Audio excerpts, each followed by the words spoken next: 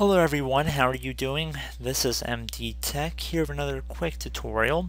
Today I'm going to show you guys how to resolve the code 37 error you might be getting on your Windows device when you're getting a Windows cannot initialize the device driver for this hardware error. Now this will typically happen when you're trying to introduce new hardware to your Windows device. So in this brief tutorial I'm going to be showing you guys a couple different troubleshooting methods on how to hopefully resolve this issue.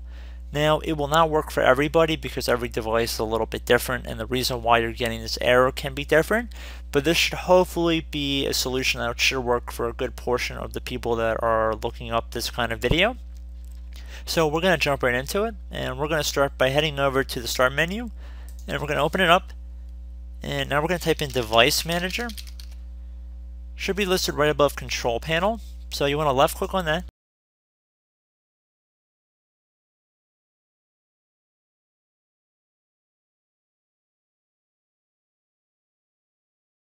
So now assuming that you are connecting to it via USB port, we're going to go underneath Universal Serial Bus Controllers under here.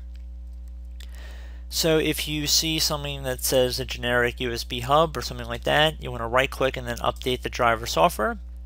You want to search automatically for updated driver software.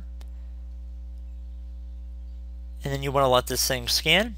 If it finds anything, let it install the updated software. If it does not, like it says the best driver software is already installed, then what I would recommend doing is uninstalling it and then by right clicking and then uninstall. And then I'll click on OK and then I recommend plugging in your device driver again or your device that I was having issues with I would also check to see if your device has any disk or online manuals that can be downloaded to your computer because sometimes they actually have their own installer files that could be necessary in order to get it to work. You don't necessarily have to go through the Windows 10 default device manager in order to install and download drivers.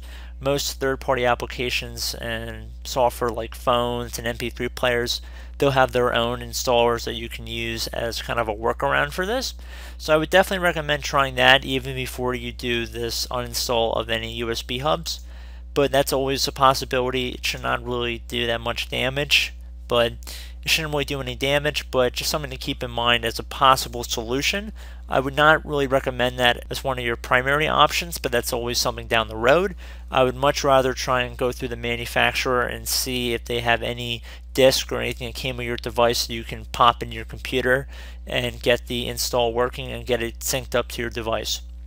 So I do hope this brief tutorial did offer some assistance to you guys. And as always, thank you for watching and I will catch you in the next tutorial. Goodbye.